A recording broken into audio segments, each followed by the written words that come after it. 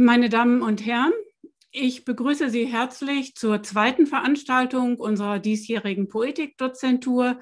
Vor allem aber begrüße ich die Trägerin dieser Dozentur, Iris Hanika und Bert, Rebhandel, der heute mit Iris Hanika über den Transfer Literatur Film sprechen wird.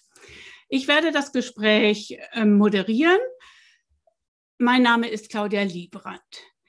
Die meisten von Ihnen haben, hoffe ich, vor zwei Wochen die Auftaktvorstellung gesehen, gehört, die Poetikvorlesung Based on a True Story, die Frau Hanecker gehalten hat. Handelte es sich vor zwei Wochen um ein tendenziell monologisches Format. Bei Vorlesungen ist das nun einmal der Fall. Geht es heute dezidiert darum, ins Gespräch mit Iris Hanecker zu kommen. Die Kölner Poet Poetikdozentur Translit hat mit anderen Poetikdozenturen, wie könnte es anderes sein, viel anders sein, viel gemein. Sie verfügt aber auch äh, über ein Alleinstellungsmerkmal. Ist sie doch besonders an medialen Verflechtungen von Literatur interessiert. Der Fokus liegt also auf trans- und intermedialen Fragestellungen. Literaturverfilmungen nun sind Paradebeispiele für solche transmedialen Konfigurationen. Was passiert? Das ist die Frage, die wir uns heute stellen, wenn Literatur in ein anderes, ein audiovisuelles Medium gerät, ins Fernsehen kommt, wenn Literatur zu Film wird. Dieses Los hat Iris Hanekas Roman Treffen sich zwei ereilt. Der Text wurde 2015 von Ulrike von Rebeck verfilmt. Genauer, darüber sprechen wir vielleicht gleich noch, wurde gedreht nach Motiven von Iris Hanekas Roman. Ähm, erlauben Sie mir eine Einführung von, sagen wir, so etwa acht Minuten. Ich bin sehr glücklich, dass wir Herrn Rebhandel für diese Debatte gewinnen konnten. Er ist seit 1993 freier Journalist und Autor, zunächst in Wien, ab 2000 dann in Berlin. Herr Rebhandel schreibt für verschiedene Tageszeitungen. Ich kenne ihn vor allem als Filmkritiker in der FAZ. Seit 2009 gibt er gemeinsam mit Eckehard Knörer und Simon Rothöhler das Magazin Cargo Film Medien heraus. Vorgelegt hat Herr Rebhandel auch eine ganze Reihe von Büchern, unter anderem über Orson Welles, über das Genre Western, über den Filmklassiker Der dritte Mann. Im letzten Jahr erschienen ist ein Buch zu Jean-Luc Godard mit dem schönen Untertitel Der permanente Revolutionär. Iris Hanecker ist ja bereits vor zwei Wochen ausführlicher vorgestellt worden. Deshalb beschränke ich mich für diejenigen, die neu zu unserer Veranstaltungsreihe hinzugekommen sind, auf wenige Bemerkungen. Frau Hanecker ist in unserem Zusammenhang interessiert das, ausgebildete Germanistin. Sie betont aber immer wieder, dass sie keine Literaturwissenschaftlerin sei, sondern das Studium zur Ausbildung ähm, als Schriftstellerin begriffen habe. 1992 publizierte sie ihr erstes Buch, Katharina oder die Existenzverpflichtung. Iris Hanecker hat eine ganze Reihe von unterschiedlichen Projekten verfolgt und publiziert, auf die ich hier aus Zeitgründen nicht eingehen kann. Ihr letztes Buch, der Roman Echos Kammern, erschien im letzten Jahr. Echos Kammern für den Text erhielt Frau Hanecker bereits den Hermann Hesse Literaturpreis. Echos Kammern steht auf der Shortlist für den diesjährigen Leipziger Buchpreis. Iris Hanecker wurde mit einer ganzen Reihe von weiteren Preisen geehrt. Genannt sei nur der Hans-Fallada-Preis, der Literaturpreis der Europäischen Union, der Preis der Literatur Nord. Sie hat Stipendien wahrgenommen, zum Beispiel in der Villa Massimo in Rom. Der Roman, um den es heute gehen wird, treffen sich zwei Zierte 2008 auch die Shortlist für den Deutschen Buchpreis. Nachdem ich Ihnen Iris Hanecker und Bert Rebhandel vorgestellt habe, gehe ich jetzt noch kurz auf den uns heute interessierenden Roman Treffen sich zwei ein und sage auch noch ein paar wenige Worte zum Fernsehfilm, bevor wir dann ins Gespräch einsteigen, in die Lesung, in die Vorführung der Clips und so weiter. Treffen sich zwei. Der Roman, der so beginnt wie manche Witze, ist von der Kritik hymnisch und damit übertreibe ich kein bisschen gefeiert worden. Jörg Drews beschließt seine Rezension in der Süddeutschen Zeitung mit den Sätzen, da wird vom rührenden Glück zweier Tölpel erzählt. Durchaus heutiger Tölpel in durchaus heftig heutiger Sprache. Naja, wie die Leute halt so in Berlin reden. Und dann wird auch wieder ganz albern schwebend erzählt von Momenten, in denen die beiden lächelnd und zart einverstanden sind, damit in der Welt zu sein, in diesem Moment in dieser Stadt. Und das Tolle ist, dass man tief bewegt mit den beiden sympathisiert und denkt, so geht es manchmal auch. Ja, doch, solche Erfahrungen gelungenen Lebens kann man bisweilen schon machen. Und endlich kann ich mich mal lesend mit einer geglückten Liebe amüsieren, und zwar nicht unter meinem Niveau. Das hat mit ihrer Prosa die Iris Hanecker getan schreibt Jörg Drews. Ingeborg Harms in der FAZ beginnt mit einer Diagnose. Es ist das Kreuz der großen Liebe, dass alle Worte für sie längst verbraucht sind und fährt fort. Zwar sei die große Liebe immer klischeereich, doch, ich zitiere, je größer die Beziehungskrise, desto weniger sperrig wirkt das sprachliche Treibgut. Es wird zum Feuerholz der lodernden Gefühle und kocht die kühnsten Metaphern auf. Treffen sich zwei ist ein aufregendes Buch, weil es nicht am Nullpunkt der Authentizität stehen bleibt, sondern in der vorgeprägten Sprache unbekümmert seinen Weg sucht. Harms verweist, wie viele andere Rezensentinnen und Rezensenten, die haben nämlich alle Germanistik studiert, auf die Kleist-Bezüge des Romans. Hanekas Lehrmeister sei Heinrich von Kleist, der die unerhörte Wendung der Novelle zum Erzählprinzip gemacht habe. Aber Iris Hanekas Roman referiert nicht nur auf Kleist, auf Penthesilea, die Verlobung in Santo Domingo und weitere Kleist-Texte, sondern ist durchzogen von einem intertextuellen und intermedialen Netz von Bezügen. Es gibt eine neuseeländische Masterthesis aus dem Jahr 2013, die hunderte direkte oder indirekte Zitate auflistet. Kleist, Goethe, Rilke, Ben, Walter von der Vogelweide, Filme, zum Beispiel Matrix, zahlreiche Popsongs, Wagner-Opern und so weiter. Und diese Abschlussarbeit hat sicher das Netz an Referenzen nicht vollständig freigelegt. All das wird aufgeboten, um von der Liebe zwischen Senta einer verkrachten Geisteswissenschaftlerin, die nachmittags in einer Galerie jobbt, und Thomas, ITler, Systemberater, zu erzählen. An äußeren Geschehnissen gibt es nicht viel, was passiert.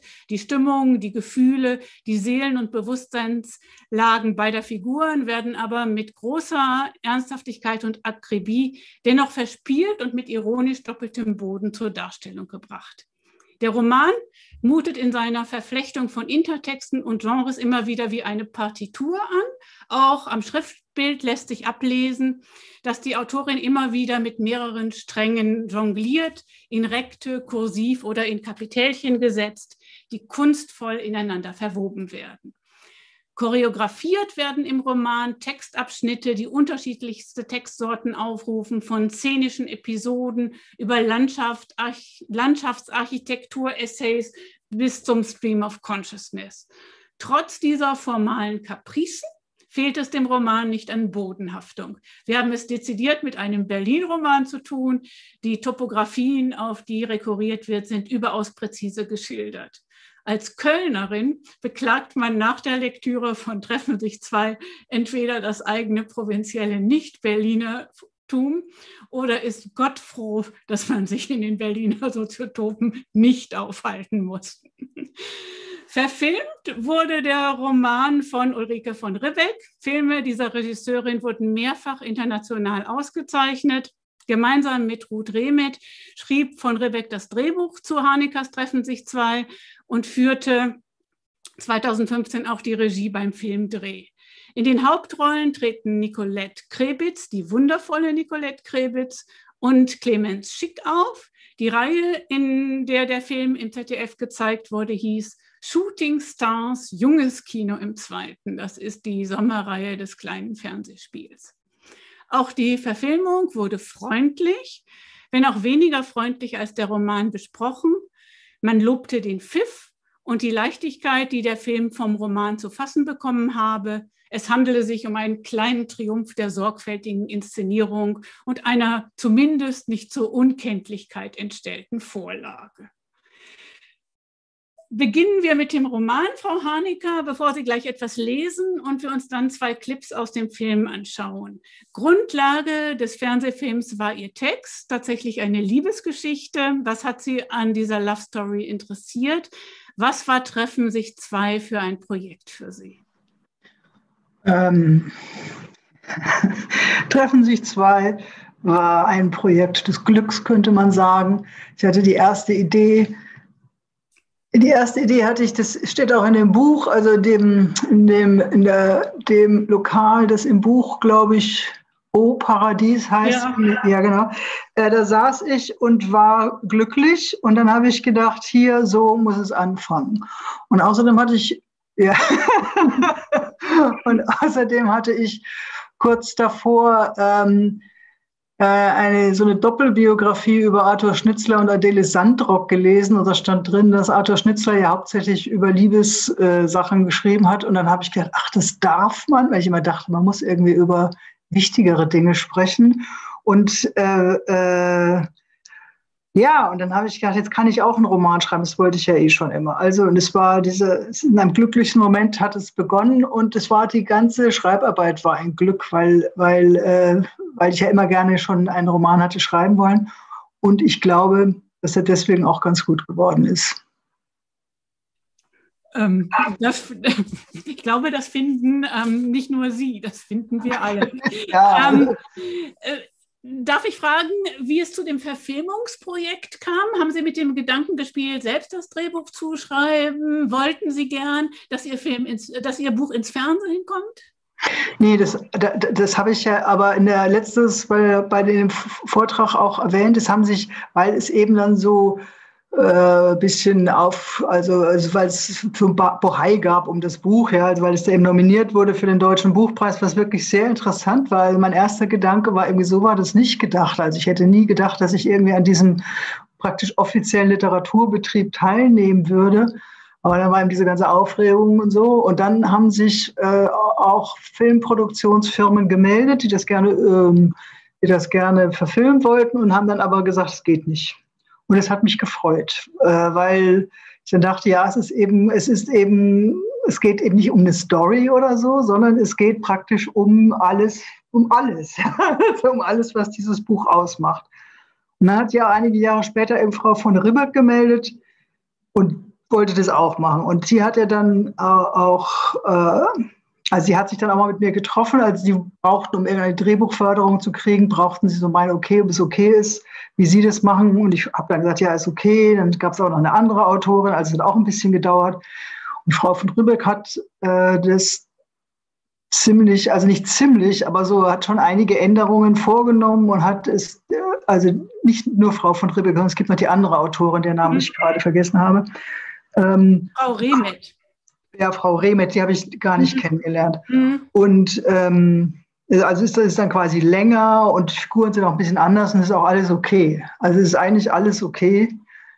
Ähm, mich stört was anderes. Wir sprechen noch darüber. Wir sprechen noch, später drüber oder jetzt? Wir sprechen noch darüber, was Sie stört. Ich würde jetzt vorschlagen, damit wir beide Medien ähm, hier sozusagen auf unsere virtuelle Plattform ähm, holen, dass ähm, Sie ähm, einen Ausschnitt aus Ihrem Roman lesen, und zwar der, in dem die beiden Figuren zum ersten Mal im Bett landen und in dem viel Kleist vorkommt. Das hören wir jetzt und dann ähm, wird es zwei ähm, Ausschnitte aus dem Film geben. Das ist der erste Clip zeigt ähm, das erste Kennenlernen bis zum ersten Sex und die zweite Szene ist so eine Szene, in der die Protagonistin äh, dem Geliebten in seiner Firma nachspioniert. Aber wir beginnen jetzt mit, äh, mit der Lesung. Frau Hanecker. Gut. Ähm, ja, also ich möchte dazu sagen, aber darauf kommen wir bestimmt noch, dass ich eben immer sage, es geht in diesem Buch eigentlich nur um das eine. Also die zwei Hauptfiguren, um die, für die geht es nur um das eine. Es wird aber nicht geschildert. Und als ich jetzt gestern mir diese Stelle nochmal angeguckt habe, habe ich gedacht, es wird ja doch ein bisschen geschildert, aber und es wäre mir jetzt schon fast zu viel. Also jetzt würde ich das anders schreiben. Aber egal, ich fange jetzt an. Und als und ich, äh, es sind eben und diese die Zitate, die es dazwischen gibt, die sind äh, durch Kursivierung gekennzeichnet. Ich äh, werde es vielleicht dann auch jetzt beim Lesen sagen oder kennzeichnen irgendwie. Und als sie endlich im selben Bett miteinander lagen, nachdem Thomas Center die Kleider vom Leibe gerissen und sie ihm dabei geholfen hatte, während umgekehrt er ihr half, den Gürtel zu öffnen, der ihm seine fast dunkelblauen Jeans am Leibe hielt und sie ihn aus seinem dünnen weißen Hemd mit den dünnen blauen Streifen herausgeschält hatte, als sie endlich nichts auf dem Leibe mehr trugen als sich selbst und Sentas Bett einer schweren Belastungsprobe unterzogen, da war alles ganz einfach geworden. Für Thomas sowieso. Jetzt was Kursiviertes. Was weiter erfolgte, brauchen wir nicht zu vermelden, weil es jeder, der an diese Stelle kommt, von selber liest. Weiter im Text. Interessanterweise aber auch für Senta, die weder daran dachte, dass der Nagellack auf ihren Zehennägeln schon zur Hälfte abgerieben war und nicht mehr hübsch aussah, noch daran, dass ihre Brüste nicht straff nach vorne standen, sondern eher hingen und im Liegen zur Seite fielen und auch nicht daran, dass über ihre Hüften helle Streifen wie Schwangerschaftsnarben abwärts führten, weil sie sich beim Heranwachsen nur von Zucker ernährt hatte, wovon ihr die Haut geplatzt war. Tatsächlich dachte sie überhaupt nicht daran, wie ihr Körper aussah und wie er auf einen Mann wohl wirkte und musste darum auch nicht überlegen, welcher seiner Teile zuvörderst zu verbergen war, was ja sowieso ein schweres Unterfangen ist, wenn man gar nichts am Leibe trägt und viel Bedenken und Verrenken erfordert, bislang jedoch stets zu ihrer Zufriedenheit bewerkstelligt worden war, worüber sie noch jedes Mal die Befriedigung vollkommen vergessen hatte. Weil sie also in dieser Nacht gar nicht überlegte, wie sie von außen aussah, sondern stattdessen ganz in sich drin war, so dass sie sich mit ihm, als außerdem er in ihr drin war, tatsächlich bei sich traf, statt draußen auf dem Beobachtungsposten ihrer erworbenen Vorstellungen, begegneten sie sich von gleich zu gleich. Wie füreinander gemacht waren sie und zugleich ein jedes für sich, unendlich weit und riesengroß und füllten sich dabei doch ganz und gar aus und waren darum auch beide gänzlich überwältigt von dem, was ihnen hier so unerwartet wenn auch lang erhofft, geschah. Jetzt kommt wieder eine kursive Stelle. Der Fremde, als er sich wieder gesammelt hatte, wusste nicht, wohin ihn die Tat, die er begangen, führen würde.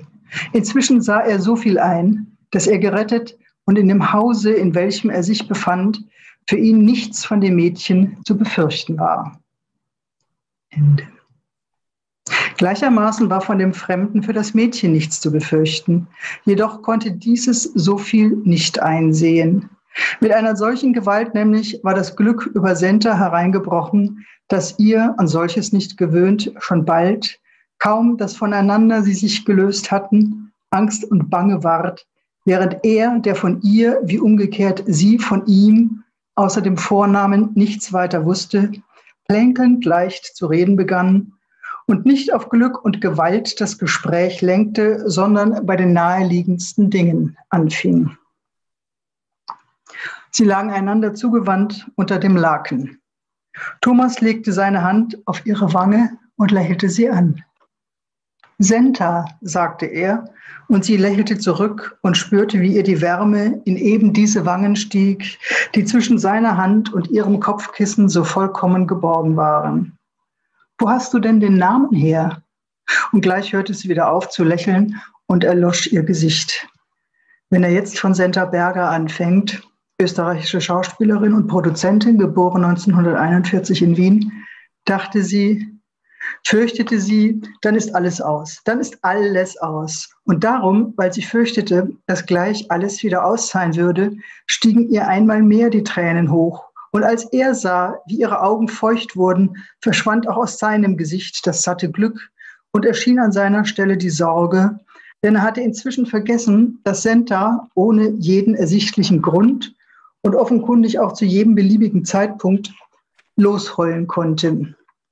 Vielmehr hatte er gar nicht in Erwägung gezogen, dass diese Heulerei ein wiederkehrendes Ereignis sein könnte. Das war jetzt eigenartig. Senta merkte es selbst.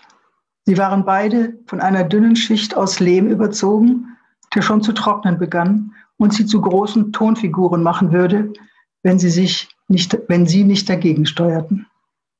Ich hol mal ein Glas Wasser, sagte sie darum und zog ihr Gesicht unter seiner Hand hervor und ihren Körper aus dem Bett heraus, und den Bademantel an, der neben ihrem Bett an einem Haken hing, und Thomas sah ihr zu und sah ihr nach, wie sie das Zimmer verließ.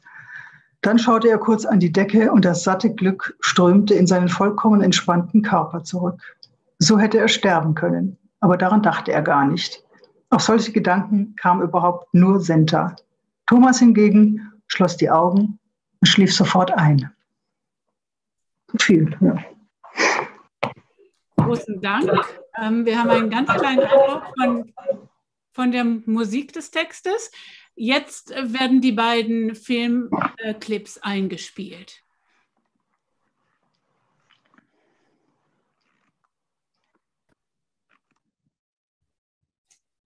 Für Senta meine Liebe und Muse. Rainer.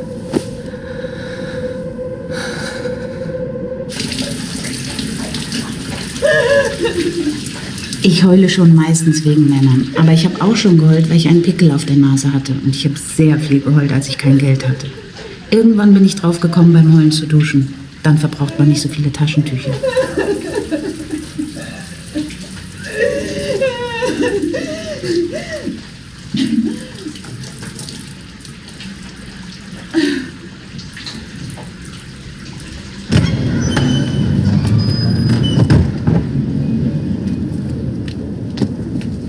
Rainer?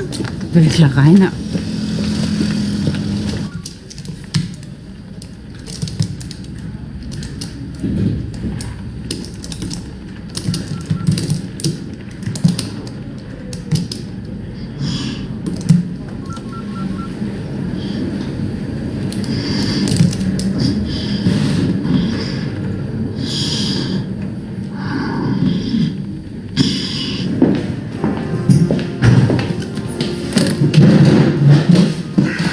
Wie immer?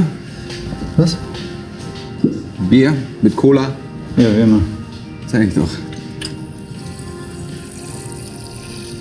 Dann erstmal.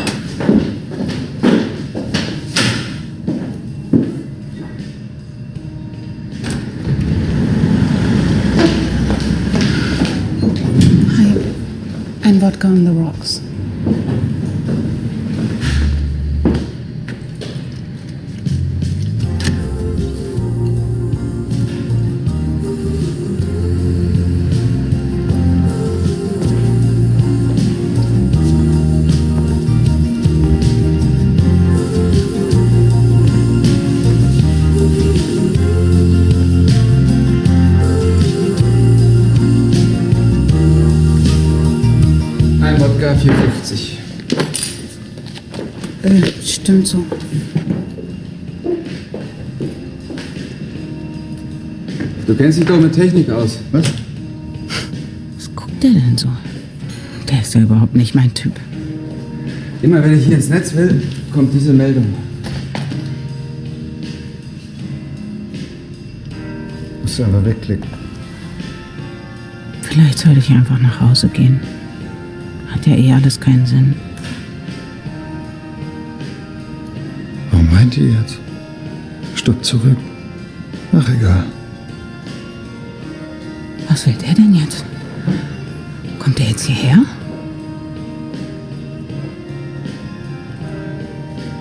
Entschuldigung, darf ich mich setzen? Ja, klar, gerne.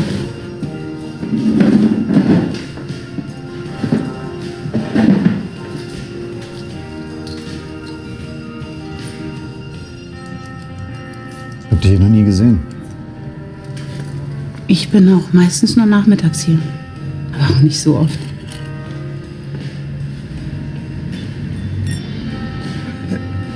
Hier nur abends.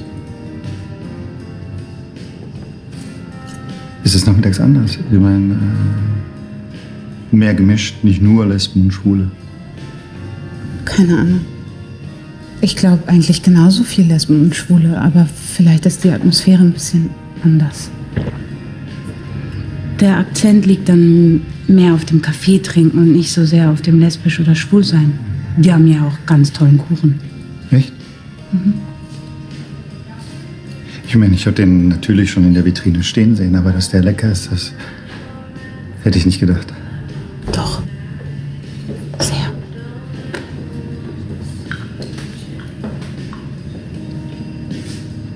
Wollt ihr noch was?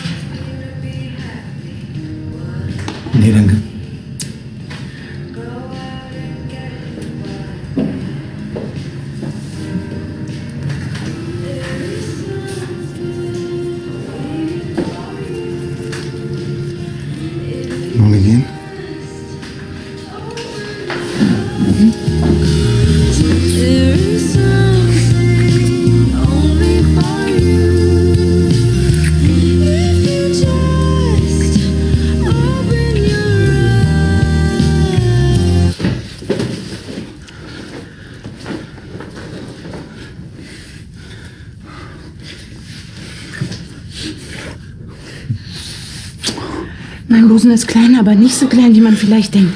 Gott sei Dank ist die Unterwäsche tipptopp.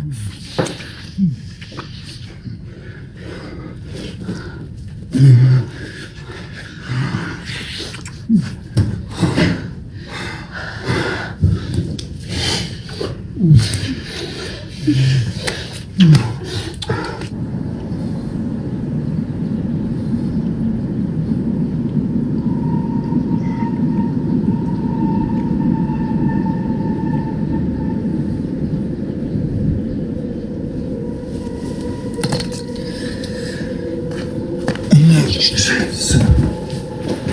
Morgen ist. Jetzt kommt's. Ich muss los, schon halb neun.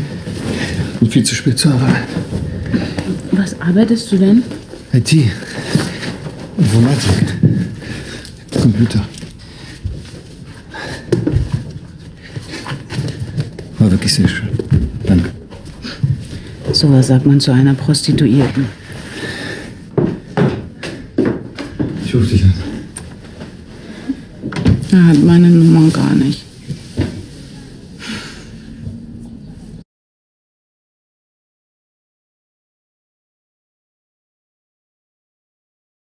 Jetzt tu nicht so, als wenn ich ein Idiot wäre mit meinem Problem.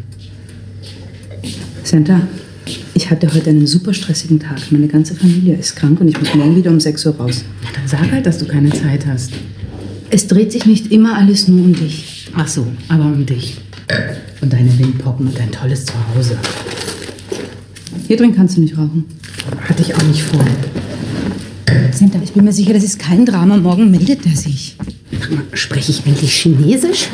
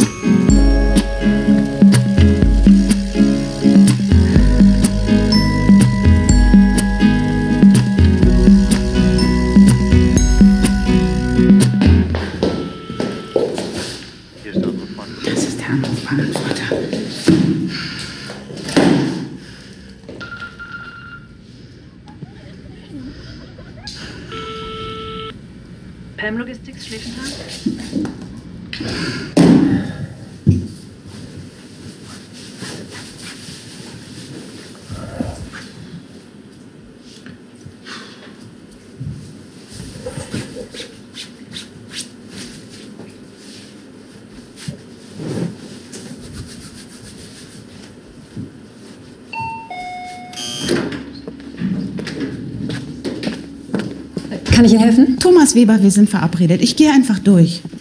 Eigentlich hat er den ganzen Tag Besprechung. Herzlich willkommen. Hallo. Welcome at Pam Logistics. Ähm, hatten Sie eine angenehme Reise?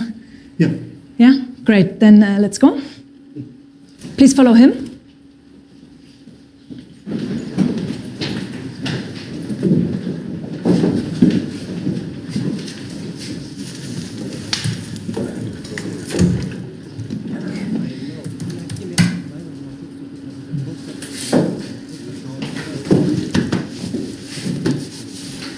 Security. Könnt ihr mich vorbeischicken? Durch. No, jetzt sagst du mit Deutsche, vielleicht du verstehst, was die sagen. Ich habe keine Ahnung, überhaupt keine Ahnung. Selbst expandieren. Ja, aber in die US müssen sie sich völlig neu etablieren. But you have, uh, how do I say it? Eine große Konkurrenz. Ja, aber wir haben auch eine einzigartige Technik. Äh, Wer sonst verbindet interne Vernetzung mit externer Transmission? Was ist denn? Ich habe Ihnen hier, danke, eine Liste zusammengestellt von den Unternehmen, die Interesse an einer Und die führe ich Ihnen jetzt mal vor. In deinem Büro gibt es ein kleines Problem. Was ist denn? Da fummelt so eine Verrückte an deinem Computer rum. Und jetzt ist sie verschwunden. Ein Düngemittelfabrikant aus dem Mittleren Westen sucht neue Kunden und will seine interne Kommunikation neu strukturieren. Wir entwickeln dieses Produkt nun schon seit mehreren Jahren und ähm, ich will mal so sagen, wir hatten schon mehrere Angebote, wir wollten aber bis zum letzten Ende entwickeln, um ein wirklich perfektes Produkt abzuliefern. Ich denke, mit dieser...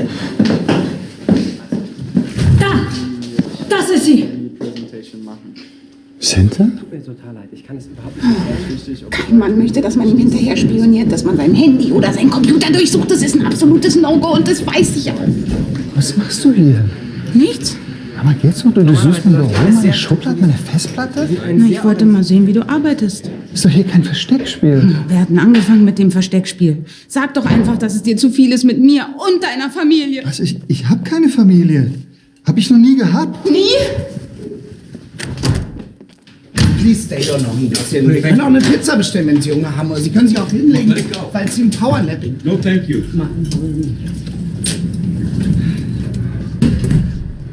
I've never seen so much chaos like that. Ich like vorbereitet. Die sollten in ihren Security investieren, bevor sie expandieren. Sie sprechen, glaube ich, gerade von mir. I am the Sicherheitsrisiko. But I can explain. Sie waren doch bestimmt auch schon mal verliebt. Oder? I mean, not just in love, but in love.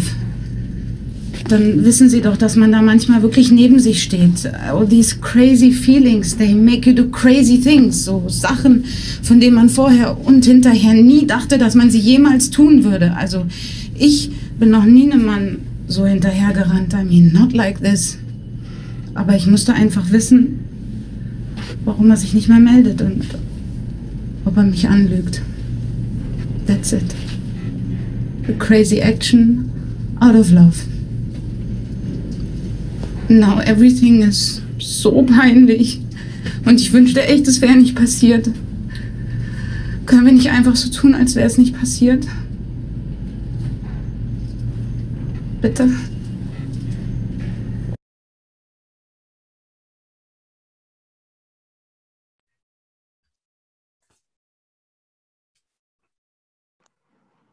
Okay, wir drei sind jetzt wieder da. Ähm, wir sprechen jetzt zunächst auf dem virtuellen Podium und öffnen später das Ganze für Fragen aus dem Publikum. Ähm, Sie haben schon angedeutet, äh, zunächst geht die Frage an Frau Hanecker und dann an Herrn Rebhandel, dass Sie keine so ganz große Freundin der Treffen sich zwei Verfilmung sind. Ähm, vielleicht formulieren Sie nochmal, was Sie an dem Film nicht mögen. Und Sie haben ja jetzt diese beiden Szenen, die ich ehrlich gesagt ziemlich stark finde. Ich sage auch gleich, warum ich sie stark finde, äh, gesehen. Vielleicht können Sie auch da kommentieren, was Ihnen nicht gefällt.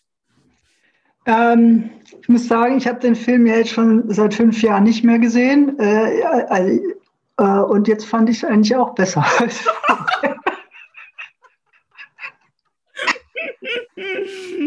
Äh, äh, das kann eben damit zusammenhängen, ja, also mit dem Abstand, den ich sowohl, also jetzt nicht nur von dem Film habe, sondern auch von dem Buch, das ich ja vor bald, also vor, also vor vielen, vielen Jahren schon geschrieben habe.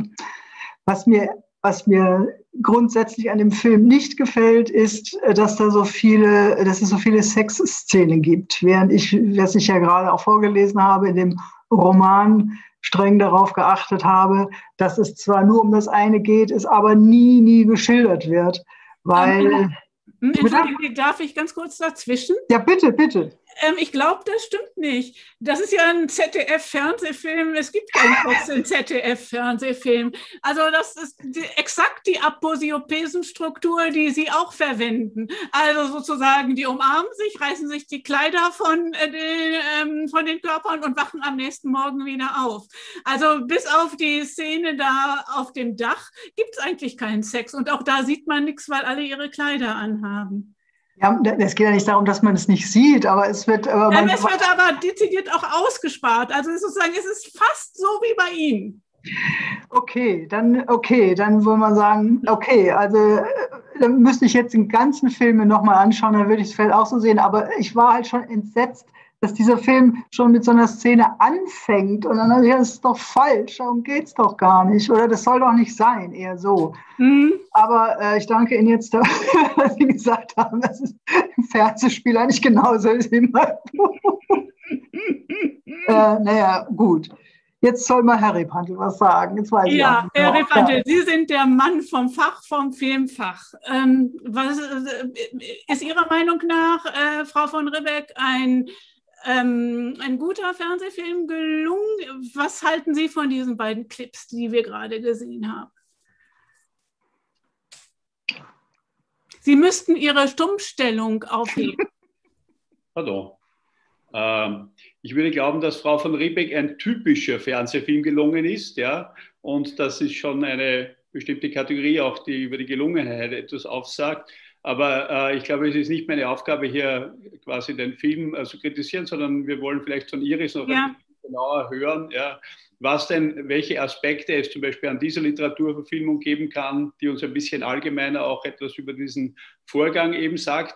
Und äh, in unserem kleinen Vorgespräch haben Iris und ich auch äh, uns gedacht, wir könnten dann auch noch ein bisschen allgemeiner auf Literaturverfilmungen eingehen, die ihr auch sehr gut gefallen. Und überhaupt, weil sie ja nicht nur eine Autorin ist, sondern auch eine große Leserin. Ihre Bücher sind ja auch die Produkte einer großen Leserin, ja, dass wir ein bisschen eben auch die Beziehung von anderen Büchern, die ihr wertvoll teuer sind, ja, zu äh, den Adaptionen und so weiter besprechen. Mich würde ganz ehrlich jetzt so äh, mit meinem professionellen Blick auf so einen Film zuerst einmal interessieren, was das Erste ist, Iris, dass dir, also noch vor vielleicht sogar dieser Sache mit den Sexszenen, das finde ich nämlich jetzt wiederum interessant, dass die Frau Liebrandt das im Grunde ein bisschen anders gesehen hat als du, ja.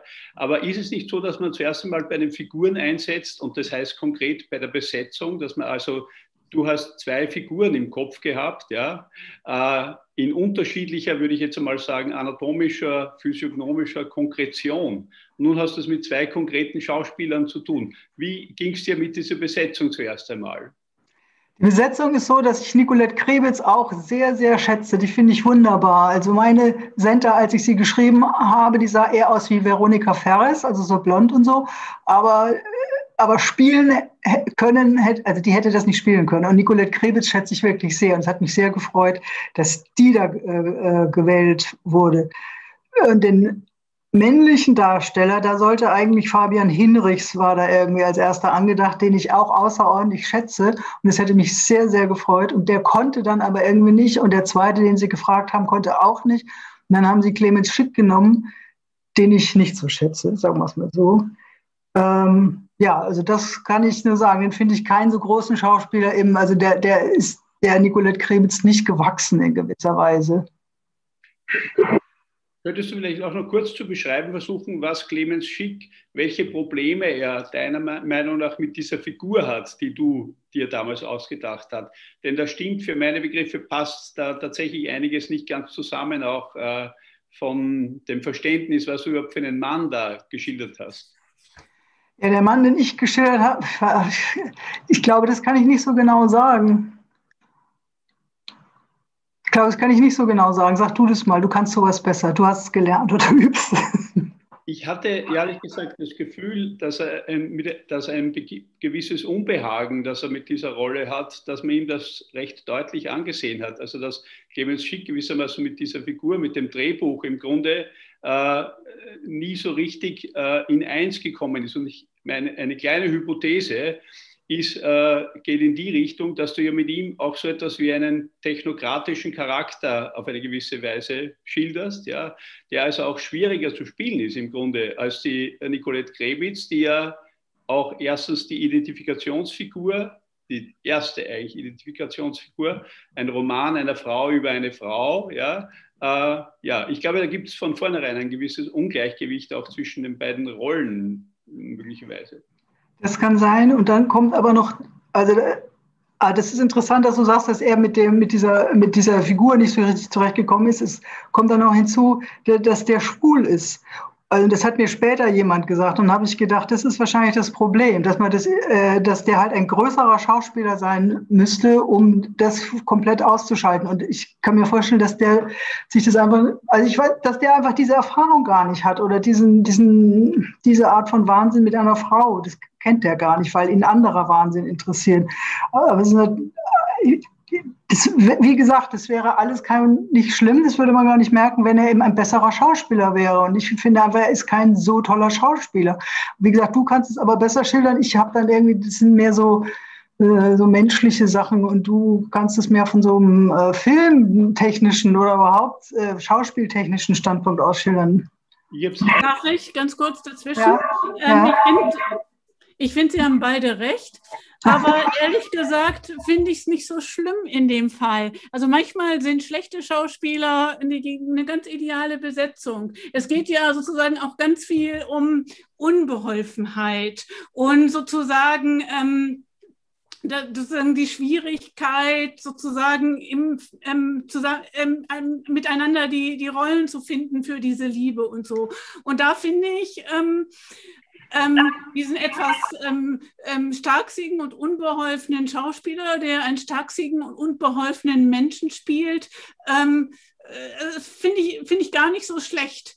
Also natürlich haben Sie recht, sozusagen, dass ähm, also Nicolette Krewitz ist eine Naturgewalt und es ist die viel, viel dankbare Roll- Rolle und sie ist die bessere Schauspielerin. Aber sozusagen für den Gesamteffekt finde ich das nicht so schlecht. Ich, äh, Ja, darf ich und- ja. ganz kurz einen Gedanken noch versuchen, denn ich würde das eigentlich ganz gern ein bisschen von der Frage wegbringen, ob Clemens Schick ein guter oder ein schlechter oder ein wie immer qualitativ hochwertiger Schauspieler ist. Und ich würde es im Grunde auch von der Frage wegbringen, ob er homosexuell ist oder nicht. Ja. Ich hatte den Eindruck, dass er mit dieser Rolle aus, aus strukturellen oder konzeptuellen Gründen viel schwieriger arbeiten musste als Nicolette Krebitz mit äh, ihrer Rolle, weil dieses Genre und deswegen, äh, und ich glaube, ich habe auch deswegen diese zweite Szene eben ausgesucht oder vorgeschlagen, ja, das Genre ist im Grunde ein weiblich konnotiertes Genre. Und wir haben es ja auch mit zwei Autorinnen, einer Regisseurin und ich glaube auch äh, unterstellen zu können, mit einem primär größer weiblichen Zielpublikum als einem männlichen Zielpublikum zu tun, obwohl der Roman ja darauf ausgelegt ist, dass tatsächlich eine gelungene, bis zu einem gewissen Grad gelingende äh, Liebesbeziehung auf einer Augenhöhe entsteht, trotz ihrer Unwahrscheinlichkeit. Und ich finde, das hat die, äh, die Verfilmung so ein bisschen wieder einkassiert. Das ist jetzt ein typischer Fernsehfilm mit dieser, äh, in dem die Nicolette Grebitz zu, aus guten Gründen, aber auch aus gewollten Gründen dominiert. Ähm, darf Ja, ich? und dazu darf ich doch kurz vielleicht sagen, äh, es freut mich, Bert, dass du das ein bisschen sachlicher darstellen kannst, dass es mir beim Schreiben auch sehr darauf ankam, dass die weibliche und die männliche Figur äh, gleich, gleichwertig sind. Und ich habe mich bei einer Lesung am meisten darüber gefreut, da sagte ein Mann, äh, er findet es toll, wie ich diese männliche Figur geschildert habe. Und das hat, also das fand ich das größte Kompliment, dachte ich, es ist mir auch gelungen. Und dann freut es mich, Bert, dass du das praktisch ähm, dahin, äh, also, dass du es erklären kannst, warum es jetzt irgendwie nicht so hingehauen hat oder warum es anders ist, als ich es mir vorgestellt hätte. Ich glaube, dass, ich glaube, ich glaube, das hat viel mit äh, Genre- und Gattungsfragen auch zu tun. Ja? Deswegen eine Frage jetzt nochmal an dich. Die zweite Szene, die ich ausgesucht habe, ist ja im Grunde eine Slapstick-Szene. Ja? Pri- Primär eine Komödienszene, aber wirklich im genaueren fast eine, eine Slapstick-Szene. Ja? Wie weit ist denn das bei dir in deinem Buch äh, deiner Einschätzung nach noch eher implizit gewesen oder ha- hast du dein Buch auch schon ausdrücklich als Komödie verstanden. Denn ich habe ein bisschen den Eindruck, da hat die Frau Riebeck auch etwas noch nach außen geholt, was dem Buch natürlich schon da war, aber eben auch noch ein bisschen verdeutlicht, um es nicht, äh, um es vorsichtig zu sagen. Ja, die zweite Szene fand ich nicht so schlecht. Also, die, also ich fand die ganz lustig und die gibt das Buch auch her, so würde ich das sagen. Also dann, der störe ich mich nicht. Nee. Äh, das Buch gibt es her, ja, aber es ist im Grunde äh, schon auch so eine Ver Vereindeutigung des Buches, oder?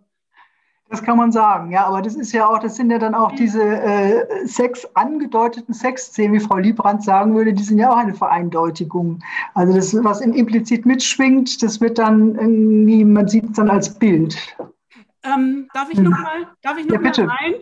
Ähm, ich finde die Szene, die, insbesondere die zweite Szene, kommt ein Tick zu schlecht weg. Also natürlich ist das, ähm, das ist äh, Slapstick, das ist irgendwie auch ein bisschen Screwball, das ist auch so ein bisschen Sophisticated Comedy und natürlich ist das ein weibliches Genre. Und irgendwie, wir haben im Classical Hollywood Cinema halt das Glück, dass dann Cary Grant da mitspielt. Der ähm, kann das, also irgendwie, das ist attraktiver als Clemens Schick, äh, jenseits von ähm, Schauspielqualität. Jenseits.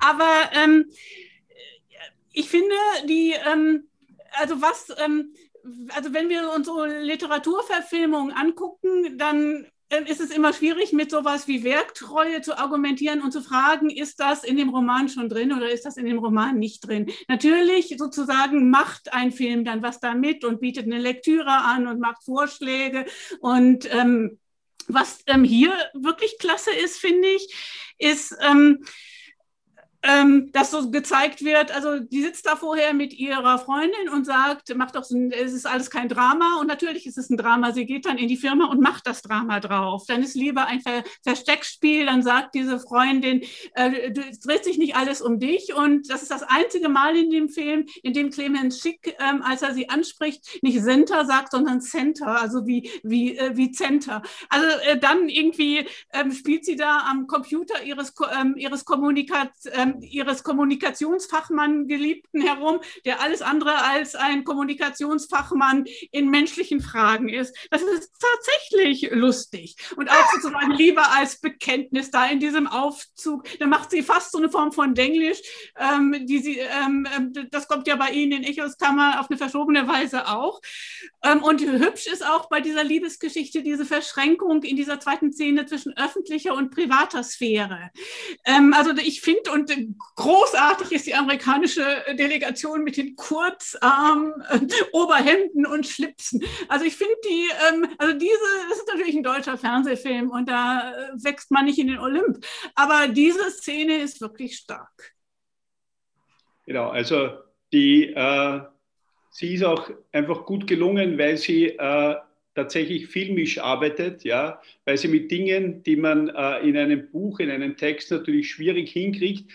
Iris kann natürlich auch schreiben, sie musste sich unter den Schreibtisch ducken und so weiter oder äh, 14 Blicke ruhten plötzlich auf ihr und sie fühlte sich äh, ertappt und so weiter. Ja. Aber dafür ist nun einmal das Kino tatsächlich sehr viel besser geeignet. Ja. Vielleicht äh, fragen wir ein bisschen jetzt allgemeiner, Iris, ja, äh, wenn man einen Text schreibt, so wie du dieses Buch, ja, das tatsächlich eben, äh, die Frau Liebrand hat das Stichwort ja auch schon geprägt, äh, gebraucht, sehr stark eben intertextuell äh, strukturiert ist, in dem also sehr, sehr viel Medienalltag eben schon von vornherein eingeht, ja, äh, das dann in der Verfilmung für das ZDF bis zu einem gewissen Grad natürlich notwendigerweise, es geht gar nicht anders, so ein bisschen vereinfacht werden muss. Ja? Wie, wie viel äh, steckt denn da doch vielleicht sogar ein kleines Moment von Kränkung noch drinnen, die gar nicht persönlich ist, die gewissermaßen strukturell ist, Iris? Ja, das wäre, ja, das ist wahrscheinlich ein Grund, warum ich, warum ich erstmal äh, den Film nicht so toll fand, weil strukturelle Kränkung hört sich irgendwie ganz gut an als, als Grund. Ich hätte mir gedacht, dass dieses Buch, das ja eben nicht so geradeaus durcherzählt ist und das mit, wo es extrem viele, also praktisch Ausgänge gibt in andere Bücher oder in, in Lieder oder vielleicht sogar auch in andere Filme, dass das jemand, wenn er es verfilmt, als Sprungbrett dafür nimmt, dass er auch irgendwie überall hingeht und jetzt nicht so eine normale, normale Geschichte draus macht, die man dann irgendwie auch normal nacherzählen kann, sondern irgendwie auch einen wilden Film. Und der Film ist nicht so richtig wild. Es kann sein, dass das ist, was ich da nicht so, ähm, äh, nicht, wie soll man sagen, was mir da nicht so gefallen hat. Nicolette Krivitz hat das gespürt und deshalb hat sie danach ähm, ihren Film Wild produziert und Regie geführt. Das wäre natürlich, wenn, wenn, wenn ich dazu beigetragen hätte, dass ich diesen großartigen Film mache, dann wäre es natürlich, ist alles vergeben. Äh, darf, ich, äh, darf ich noch mal irgendwie versuchen, ein bisschen Werbung für den Film zu machen? Also, ähm, was ähm, mir ganz gut, also natürlich, ähm, da ähm, ähm, haben, haben Sie natürlich recht. Also dieses dichte, ähm, diese vielen Ausgänge, diese vielen Texte, Mhm. diese viele Genres, und das macht wirklich unglaublich viel Vergnügen, wenn man Ihren Text liest.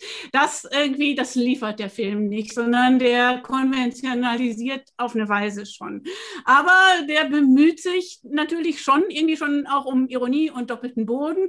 Und ähm, es ist, es ist, ähm, es ist keine, und es ist keine Rosamunde Pilcher-Verfilmung. Also die versuchen das mit der vierten Wand, was ganz gut funktioniert, was manchmal, die haben manchmal ganz, ganz schöne Parallelmontagen, die ähm, es gibt diese schöne Szene, ich weiß, Sie mögen diese Dachszene am Anfang nicht, aber wo die Welt auf dem Kopf steht, als sie sozusagen sich da gerade umbringen will und sich dann kurzfristig wieder anders überlegt. Ähm, das, ähm, oder diese Szene, über die wir jetzt noch nicht gesprochen haben, im Café ähm, mit diesen Lichteffekten, wo dann beide füreinander so erstrahlen. Also wo so irgendwie Topiken von Liebesbegegnungen, die wir in Standardfilmen kennen, aufgenommen werden, aber natürlich schon irgendwie auch ironisch so ein bisschen ähm, unterlaufen. Hm. Also natürlich ähm, sind die, die, die Mittel und die Strategien anderer, das sozusagen, das ist sozusagen auch ein anderes Format, das zielt auf ein anderes Publikum. Aber ähm, ich, also mein Mantra heute Abend ist zu sagen, so schlecht ist der Film nicht. Nein, es sagen auch viele Leute, haben schon gesagt, sie finden den Film irgendwie ganz gut, haben sich sehr amüsiert, alles so weiter. Insofern kann er gar nicht so schlecht sein. Und jetzt, als ich ja vorhin diese Szene, wo sie sich kennenlernen, wieder gesehen habe, dieses, das hat sie schon schön gemacht, also da mit diesen, mit diesen komischen, dieses, dieses weiche Licht da ist und so weiter. Das ist schon toll, ja. Okay. Iris, vielleicht noch einmal so gefragt, ja, in der, in der hohen Literatur oder in der, ich sage jetzt mit Anführungszeichen, in der richtigen Literatur, ja, und im richtigen Kino, Ja. Zählst ja zur richtigen Literatur, gibt es ja im Grunde schon so diesen kleinen unausgesprochenen Wettbewerb, ja, dass man als Romanautorin äh, best, am besten einen Roman schreibt, der unverfilmbar ist. Ja. Und erst dann ist er wirklich literaturspezifisch und ist also im eigentlichen Sinne Literatur. Äh, und äh, bist du nicht auch ein bisschen, bei Joyce und so weiter hat es ja auch nichts geholfen, aber im Grunde ändert das nichts daran, dass der Ulysses unverfilmbar ist. Ja? Und äh, bist du nicht im Grunde von deinem Autorinnen-Temperament ein bisschen äh, geneigt dazu, eben auch Bücher zu schreiben, die äh, unverfilmbar sind und du hast dich aus pragmatischen Gründen da zwar darauf eingelassen, aber im Grunde äh, ist doch, treffen sich zwei unverfilmbar, oder? Ja, so würde ich das auch sehen. Und ich habe das auch ja in meinem Vortrag gesagt vor zwei Wochen, dass ich also auch Wert darauf lege, dass ich mich wirklich im Reich der Schrift bewege. Und ich meine, in diesem Buch ist auch viel, deswegen funktioniert das E-Book auch nicht so richtig. Es gibt äh, kurze Kapitel, es gibt viele kleine einzelne Absätze, es gibt diese kursivierten Einschübe und so weiter. Also all das in Schrift, also typografische, typografische Elemente, die für mich dazugehören, äh, diese, diese Geschichte zu erzählen. Es ist jetzt nicht so, dass ich mir jetzt extra vornehme, ein, ein Buch zu schreiben, das man nicht verfilmen kann, sondern es, es ergibt sich so. Also es ist nicht, es ist, geschieht alles nicht sehr geplant und so weiter, äh, aber so, so ist es dann halt, so schreibe ich halt. Mhm, genau. Mhm. Ja, um, um so ganz kurz zu akzentuieren, Ja. das gleiche Argument auch von der Seite des Kinos. Es gab in der Ah. Kinos im Grunde eine Bestrebung, das hat sich vor allem besonders deutlich gezeigt, im um Übergang zwischen Stummfilm und Tonfilm, ja, ein filmisches Erzählen zu schaffen, das im Grunde ohne den Dialog auskäme und reiner Film wäre.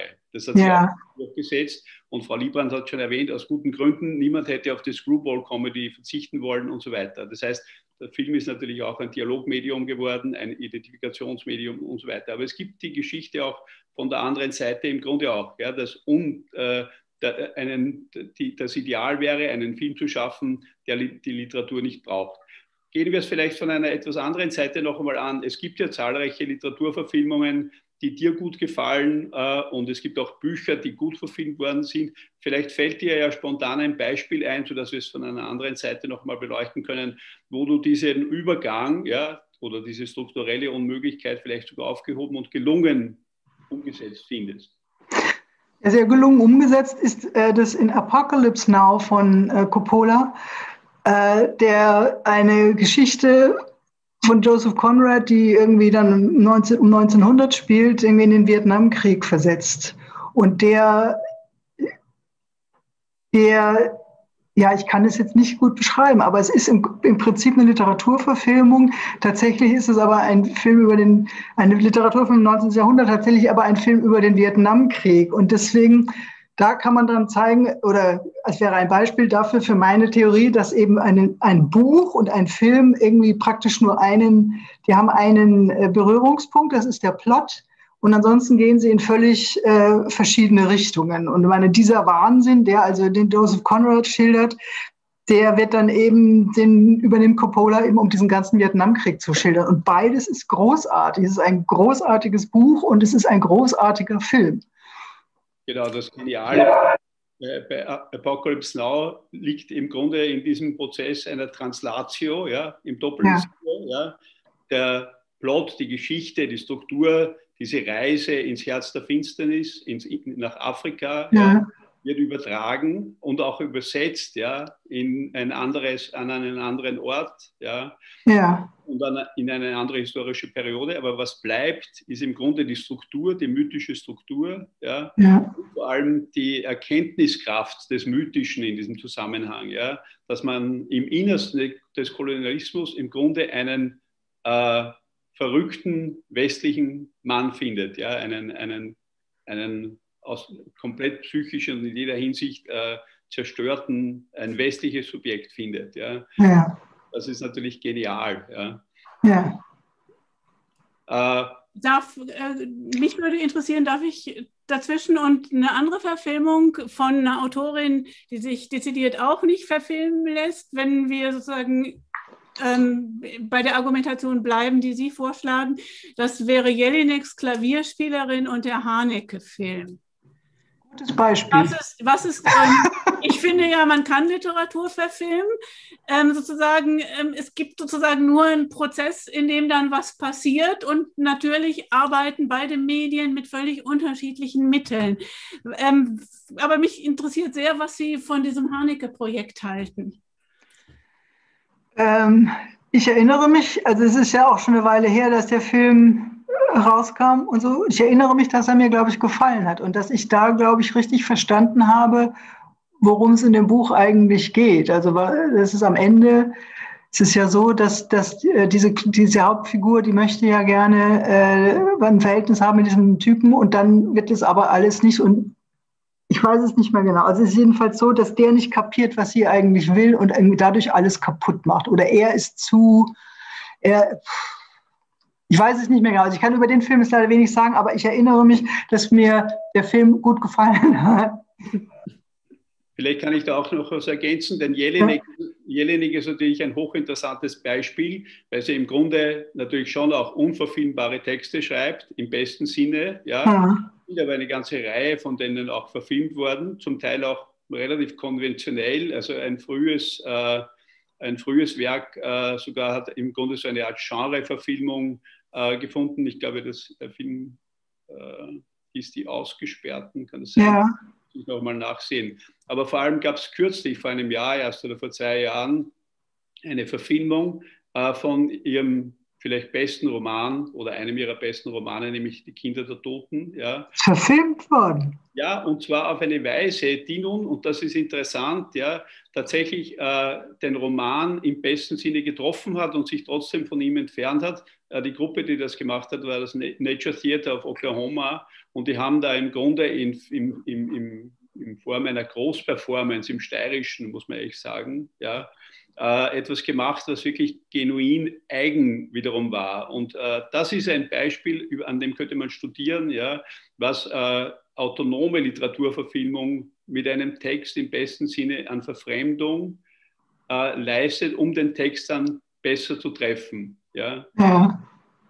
Äh, gehen wir jetzt noch einmal vielleicht zurück zu einem Aspekt von Treffen sich zwei Iris, denn äh, mir ist da noch eine Stelle in Erinnerung, äh, die in dem Buch mir sehr wichtig erschien, noch einmal zum Verständnis der beiden Figuren. Du ordnest ja den beiden Figuren zwei Subjektivitäten zu, ja, auch der Gestalt, dass du sagst, sie ist diejenige, die sich an Dinge so erinnert wie an Filmszenen, ja, während er ein im Grunde abstraktes Gedächtnis hat und sich nur Buchstaben und Zahlen merken kann. Das heißt, er, er hat ein ganz anderes Gehirn im Grunde, müsste man jetzt auch sagen. Mhm.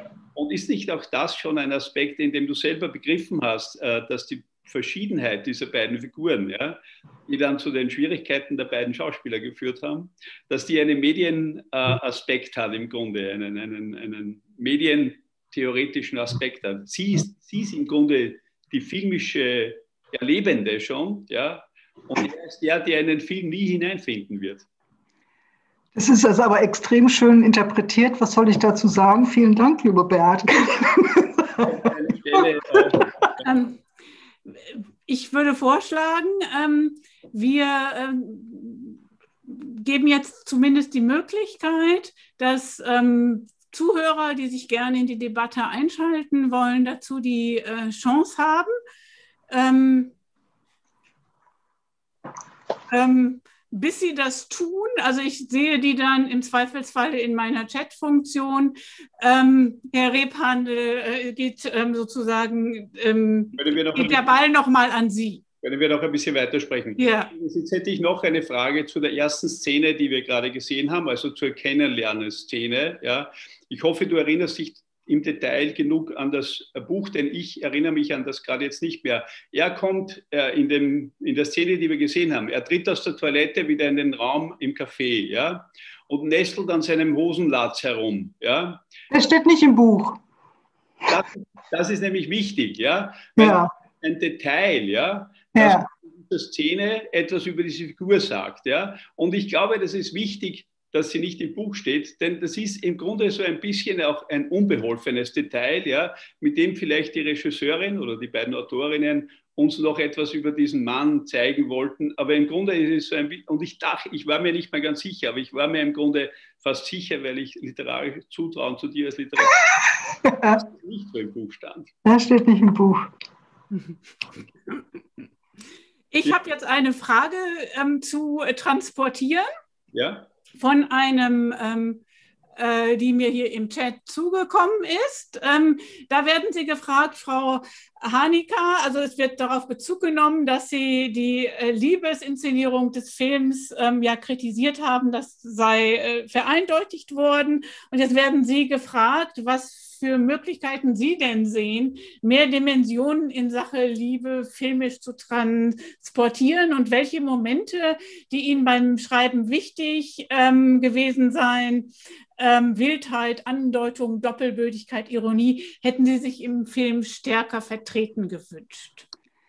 Ja, das, das ist es ja, was ich gerade gesagt habe. Ich hätte mir gewünscht, dass da jemand, der wirklich, äh, also ein verrückter Regisseur quasi ist, der irgendwas braucht, wo er von ausgehen kann, um seine verrückten Ideen äh, oder seine umzusetzen. Ich wollte jetzt nicht, dass jemand irgendwie mein Buch in eine Form bringt, äh, die dann dem Buch entspricht, sondern ich hätte mir gewünscht, dass jemand dieses Buch in einen super Film verwandelt, der mit filmischen Mitteln arbeitet, der eben kein ZDF Fernsehspiel ist, sondern äh, was anderes und der also filmische Mittel mehr einsetzt. Sie haben oder, oder Bert diese, dieses vorhin erwähnt, dass sie da einmal unterm Schreibtisch sitzt. Das ist jetzt dargestellt. Ich weiß nicht genau, ob man das ein filmisches Mittel äh, nennen kann. Aber ich würde sagen, ich bin nicht diejenige, die sagen sollte, wie so ein Film aussieht, aussehen könnte, sondern das müsste eben jemand wissen und machen, der Filme macht. Das ist nicht mein Genre. Und die Kleist-Zitat, die Kleist, Kleist der, der muss ja überhaupt nicht in irgendeinem Film vorkommen. Oder man hätte umgekehrt vielleicht einfach einen Film über Heinrich von Kleist machen können, der dann irgendwie immer gestört wird von den 200 Jahre später, was 200 Jahre später in Berlin passiert, zum Beispiel. Mhm. Mhm. Und ich habe jetzt noch eine zweite Frage, die ich reinbekommen habe, und die geht an Sie, Herr Rebhandel. Da schreibt ein Diskutant, ähm, dass ihm die zweite Szene auch oder ihr die zweite Szene auch gut gefallen hat. Aber ähm, ähm, ihm oder ihr die ähm, Fachtermini äh, fehlen, um am Beispiel dieser Szene ähm, zu begreifen, welche filmischen Mittel hier eingesetzt worden seien. Kameraeinstellung, Perspektivwechsel ähm, äh, Wechsel und so weiter. Wollen Sie dazu was sagen oder ist das zu konventionelles äh, Kino und Sie wollen dazu nichts sagen? Na, ich kann gern was dazu sagen. Möchtest du was dazu sagen, Iris? Nein, du bist der Experte. Ja, ich äh, glaube, die Szene hat eben auch deswegen Sinn gemacht, dass wir Sie gezeigt haben, weil sie eben zeigt, was das Kino kann, was die Literatur wiederum nicht so gut kann oder was die Literatur nur mit großem Aufwand äh, äh, können könnte. Am besten kann man es vielleicht äh, schildern am Beispiel des äh, Schlusses der Szene, wo sie dann im Aufzug steht mit diesen Männern, ja, und wo im Grunde diese Peinlichkeit, die die ganze Szene durch, durch äh, durchzogen hat, nämlich wo sieht sie jemand, in welcher Situation wird sie gerade angeblickt und entdeckt, wo möchte sie nicht gesehen werden. Im Aufzug hat sie nun überhaupt keine Chance mehr, irgendwo hin auszuweichen. Sie steht aber dann, und das ist schon einmal per se komisch, diesen Männern gegenüber, die sie eigentlich gar nicht verstehen, die sie aber, die sie schon gar nicht verstehen können in ihrem Liebeschaos äh, Chaos oder in ihrer Riesenliebe. Und dann macht sie eben etwas, und das ist aber, finde ich, ein Effekt, aus dem Buch übernommen wurde oder eine, eine, eine, dann macht sie eben etwas, dass sie die Flucht nach vorne antritt, ja, eine Konfession ablegt. Da sieht man natürlich dann schon auch, dass Nicolette Grebitz eine sehr, sehr gute Schauspielerin ist, weil was sie dann mit Mundwickel und, und Augen und so weiter macht, das ist einfach auch im Detail sehr, sehr gut. Ja? Und, äh, und das ist gleichzeitig aber eben, man könnte sagen, im, im, mit dem Fachterminus würde man sagen, eine Deadpan-Szene, weil äh, äh, ihr gegenüber sind eben diese äh, Attrappen, die gar nicht reagieren können, die äh, dumpf sind. Ja? Sie verausgabt sich eigentlich äh, gegenüber einem Publikum, das überhaupt nicht empfänglich ist. Und das ist wiederum auch per se komisch. Und das ist, finde ich, eine sehr schöne Schlussfolgerung aus der ganzen, ganzen Ablauf dieser Szenen. Ja? Mhm. Und ich habe jetzt noch eine weitere Frage, die geht an Sie, Frau Hanecker. Ähm, die muss ich vorlesen, weil ich sie, glaube ich, nicht ganz verstehe, aber ähm, Sie verstehen sie sicherlich. Also der ähm, Diskutant schreibt, ich verstehe Ihre Äußerungen, Frau Hanecker, zum dezidierten Nichtbeschreibung von Handlungen als Interesse am Offenlassen von Deutungsmöglichkeiten, zum Beispiel am Offenlassen der Zuschreibungen, die möglich sind, wenn man über die Liebe und ihre Spielarten schreibt. Dafür spricht ja auch, dass die Figuren so gezeichnet werden, dass sie sich selbst nicht sicher sind, welche Spielart sie sich wünschen. Die Frage, die gestellt wird, ist, inwiefern ein solches Offenlassen von Deutungsmöglichkeiten selbst das begründet, was Sie in Ihrem Poetikvortrag beschrieben haben, das Ziel der Faktengenauigkeit, die trotz Fiktionalität dafür sorgen soll, dass die Lektüre des Textes die Leserinnen ergreift. Ergreift die Leserinnen also die Tatsache, dass es eben immer Deutungsoffenheit gibt? Ja, interessante Frage. Ich glaube, das Nichtbeschreiben von Sexszenen äh, ist mir einfach darum, also würde sagen, das ist nichts, das ist nichts, wo man dann mit Deutungsoffenheit dagegen argumentieren könnte. Ich bin gegen solche Szenen, die Beschreibung solcher Szenen, weil sie dem Leser immer peinlich sind. Also wenn man sie liest, sind sie einem peinlich, weil man ja in der Regel äh, möchte man ja keine, also wenn man nicht jetzt explizit erotische Literatur liest, dann äh, ist einem das peinlich, es kommt einem zu nah. Gleichzeitig ist das etwas, was der überwiegende Teil der Menschheit schon selbst erlebt hat äh, und was immer ziemlich ähnlich und ziemlich gleich eigentlich ist und was man deswegen ähm, nicht nochmal beschrieben haben muss, vor allem wenn es Fremde sind. Also man möchte es vielleicht gerade selber machen und äh, nicht, ich würde sagen, da kann man, da haben Sie recht, also es ist dann nicht genau beschrieben im Buch, aber es ist, es geht eigentlich nur um diesen speziellen Vorgang in der Welt, der mir einfach zu privat ist und zu, einerseits zu privat, andererseits zu allgemein bekannt äh, und zu, ja, zu basal in gewisser Weise, um ihn zu beschreiben. Mhm. Ja, so, ich hoffe, dass, dass der Fragende, die Fragende Mhm. zufrieden ist. Ansonsten nochmal nachfragen. Okay. Ja. Ähm, ich Darf habe. noch, noch was ergänzen dazu? Aber Ja, bitte. oder auch noch einen Vorschlag machen, ja. Denn dein Unbehagen hat ja auch eine große Tradition und eine begründete Tradition, ja, weil, weil es beim Sex ja immer das Problem gibt, ja, dass der Anteil daran, der gewissermaßen allgemein ist, nämlich die Vereinigung zweier Körper, meistens Nacktheit, auch ein Begehren, das der Akt auslöst bei denen, die zuschauen oder so, ja. Das ist gewissermaßen das, was am wenigsten leicht zu beschreiben ist, weil es eben zu allgemein ist, ja. Und das, was daran das Besondere ist, ist so in den Subjekten versteckt gewissermaßen, dass man es auch mit einer guten Inszenierung oder mit den Mitteln, die das Kino da immer gesucht hat, schwer findet im Grunde. Und äh, sehr viele äh, Regisseurinnen, Regisseure haben sich im Grunde aus guten Gründen, äh, haben sich da immer sehr zurückhaltend gezeigt. Ja. Und das andere ist natürlich die, wie soll man sagen, doch deutliche Konkurrenz durch die Pornografie als ein Genre, das da äh, reinen Tisch macht und alles nach vorne holt und in das Scheinwerferlicht stellt, ja, und überhaupt nichts von dem trifft, ja, warum die meisten Menschen überhaupt äh, sich sexuell treffen wollen, ja. Mhm. Äh, genau. Und das ist eben, glaube ich, ich würde da fast noch den Aspekt der Deutungsintensität hinzufügen, zu dem der Deutungsoffenheit, ja, die bei dir in den Büchern ist sozusagen diese, diese, dieses Zusammenkommen durch Deutung, Intensität so stark geprägt, ja, dass man das eh nicht treffen würde ja, mit einer noch so raffinierten Inszenierung. Also Ich danke dir. Eigentlich würde ich gern ähm, mit diesen Aussagen uns in den Abend verabschieden. Wir haben aber jetzt noch eine Frage, die ich noch aufnehme, die äh, tatsächlich zu diesem Kern, äh, auf dieses Kernproblem zusteuert, um das wir heute Abend hier kreisen, um die Frage von Verfilmbarkeit. Äh, Da ähm, werden Sie gefragt, Herr Rebhandel, und das ist die letzte Frage, mit der wir uns heute Abend beschäftigen, ob eine Verfilmung ähm, ähm, nicht eine Verfahrensweise des Mediums Film sei, den Stoff, den das Buch gibt, mit den Mitteln des Films zu erzählen. Also eine Transposition der Literatur. Ähm, und dann wird ge, äh, ge- gesagt, dass ähm, natürlich ähm, irgendwie bei einer Transposition immer etwas verloren geht. Ich würde, äh, obwohl Optimismus gehört nicht zu meinen Kerneigenschaften, aber ich würde sagen, ja auch sagen, dass nicht nur Sachen verloren sie, äh, gehen, sondern das ist wie bei allen Transpositions- und Transfer- und Übersetzungssachen. Es gibt nicht nur Losses, sondern es gibt auch Gains.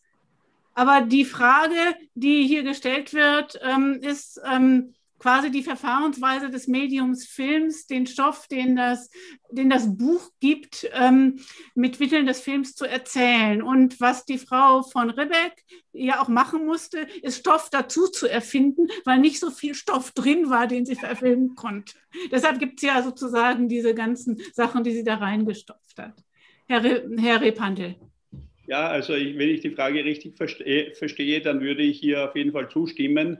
Es gibt kein unverfilmbares Buch, ganz genau, weil jedes Buch mit jeder Silbe, mit, jeder, mit jedem Satz irgendein Material natürlich bereitstellt, auf das man sich beziehen kann und aus dem man etwas machen kann. Ja? Äh, ver, äh, verfilmen heißt im Grunde, da gibt es ja auch äh, Wortspiele drüber, beziehungsweise haben sich ja auch Leute lustig gemacht. Verfilmen heißt dann wörtlich ja im Grunde auch etwas halt auf das falsche Gleis bringen. Ja? Was als Text auf einem guten Gleis ist, wird dann eben verschoben äh, auf ein falsches Gleis. Ja? Aber es gibt so viele Beziehungen zwischen Text und äh, Film oder es gibt so viele Formen von Adaption, ja, dass man da, glaube ich, Verallgemeinerungen, man muss mit Verallgemeinerungen sehr vorsichtig sein. Aber ein Aspekt, der mir wichtig ist, und damit könnte ich vielleicht äh, sogar fast so ein kleines Schlusswort eben sprechen, ja, gute Literaturverfilmungen sind solche, die in einem Umkehreffekt die Autonomie des literarischen Werks, auf dem sie beruhen, ja, zum Strahlen bringen. Und das ist in meinem Verständnis auch bei Treffen sich zwei der Fall. Oh. Das ist, ein, das ist ein Satz, mit dem müssen wir schließen. Auch mit dem Ho von Frau Hanecker danach. Ähm, äh, Ich bedanke mich bei Ihnen beiden sehr, bei Frau Hanecker, sehr bei Ihnen, Herr Rebhandel. Ich bedanke mich bei den Zuhörern und bei den Diskutierenden. Und ich möchte jetzt abschließend noch auf die Werbung machen. Ich möchte auf die beiden noch verbleibenden Veranstaltungen der Reihe verweisen, auf das virtuelle Podiumsgespräch über die Sprache hinaus, Literatur und Musik, das am den 9. Juni stattfinden wird und auf das Werkstattgespräch Echos Kammern, das vielleicht im Literaturhaus in Präsenz stattfinden kann. Das wird dann am 23. Juni ähm, stattfinden. Ihnen allen einen schönen Abend. Abend.